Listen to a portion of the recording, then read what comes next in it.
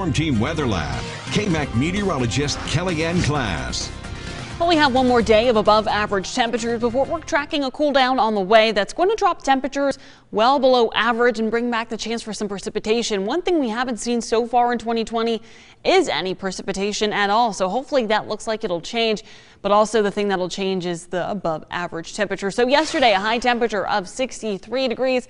That is, of course, 10 degrees above our normal of 53. By this afternoon, though, temperatures will be nearly 15 degrees above our average with highs nearing the 70s in some places. So starting off this morning feeling pretty chilly, especially off to the north and west where they're seeing some clearing conditions. Temperatures right now are into the 30s and 20s, but into the rolling plains still seeing some more mild air stick around as we're seeing temperatures into the 30s. Also waking up to a few areas some breezy conditions as well. Winds are out of the south and southwest at about 10 to almost 15 miles per hour.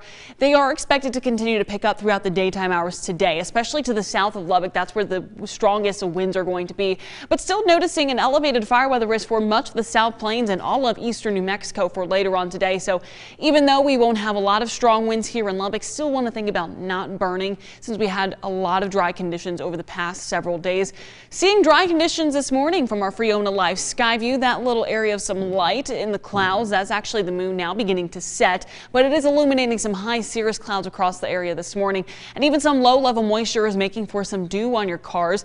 But in in terms of precipitation, none of that just yet. A lot of cloud cover for much of the South Plains this morning, though areas off to the north and to the west where we're seeing those coldest temperatures, that's where we're seeing those clearing conditions. Watching an area off around Nevada and California that's going to bring some potentially rainfall into our area by overnight on Saturday and even on Friday evening. So tracking everything out for you, a few spotty showers by Friday evening as the sun sets and we get colder air sinking on in. That's when the rain is going to transition into some snow. Keep in mind, not everyone is going to see snow, and in fact, a lot of people will stay dry by tomorrow, but we can't rule out the potential for a few flakes and even a few snow showers as well. Early Saturday morning, seeing a few lingering snow showers possible, but by the time you wake up on Saturday, everything looks to clear out. So here's what you need to know in terms of the forecast for this impending rain and snow shower event. Everything begins around tomorrow evening after about 4 or 5 o'clock, very isolated in nature. As the sun begins to set, it begins to transition into some snow.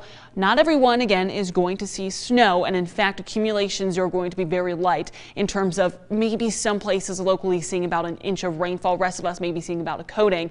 The other concern, maybe even some black ice by Saturday morning. So just something to keep in mind. Otherwise, we're on tap for another nice day today. Check out some of these high temperatures into the mid 60s and lower 70s into the rolling plains.